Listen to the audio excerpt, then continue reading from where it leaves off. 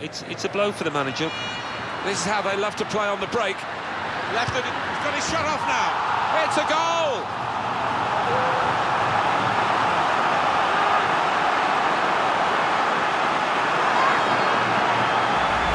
He won't have scored too many better than that. He certainly won't have hit too many harder than he did there. Another angle on it here.